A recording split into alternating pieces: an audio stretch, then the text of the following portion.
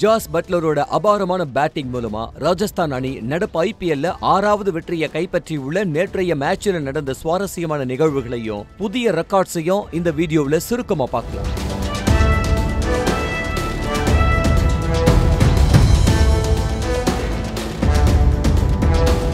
நேற்றைய மேட்ச் மூலமா ஐபிஎல் வரலாற்றிலேயே அதிகமான ஸ்கோரை சேஸ் செஞ்சு வெற்றி பெற்ற அணி என்ற சாதனையை ராஜஸ்தான் ராயல்ஸ் படைச்சிருக்கு. இதுக்கு முன்னாடி ரெண்டாயிரத்தி இருபதாம் ஆண்டுல பஞ்சாப் அணிக்கு எதிரான ஆட்டத்துல இருநூற்றி இருபத்தி நான்கு என்ற இலக்க ராஜஸ்தான் அணி சேஸ் செய்து வெற்றி பெற்றதை தொடர்ந்து அதே இலக்க இந்த ஆட்டத்திலையும் அடைஞ்சு வெற்றி பெற்றிருக்கு ராஜஸ்தான் அணி. அந்த வகையில அதிக ஸ்கோரை சேஸ் செய்த அணிகள் பட்டியல்ல ராஜஸ்தான் முதலிடத்துல இருக்கு.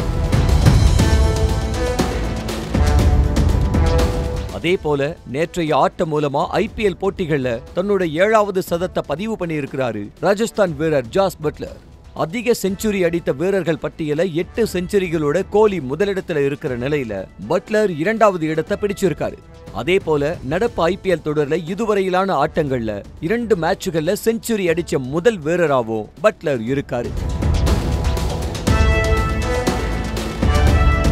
ஆட்டத்தின் மற்றொரு நிகழ்வா? ஒரே ஆட்டத்துல ரெண்டு செஞ்சுரிகள் அடிக்கப்பட்ட மற்றொரு மேட்சாகவும் இது இருக்கு.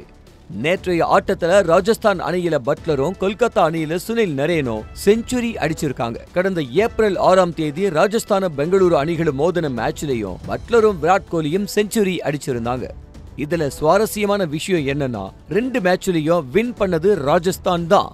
அதாவது பட்லர் செஞ்சுரி போட்டாலே அந்த மேட்ச்ல ராஜஸ்தான் வெற்றி உறுதி என்பது தவிர்க்க முடியாததா இருக்கு. செய்திகளை உடனுக்குடனும் துல்லியமாகவும் தெரிந்து கொள்ள சப்ஸ்கிரைப் பண்ணுங்க.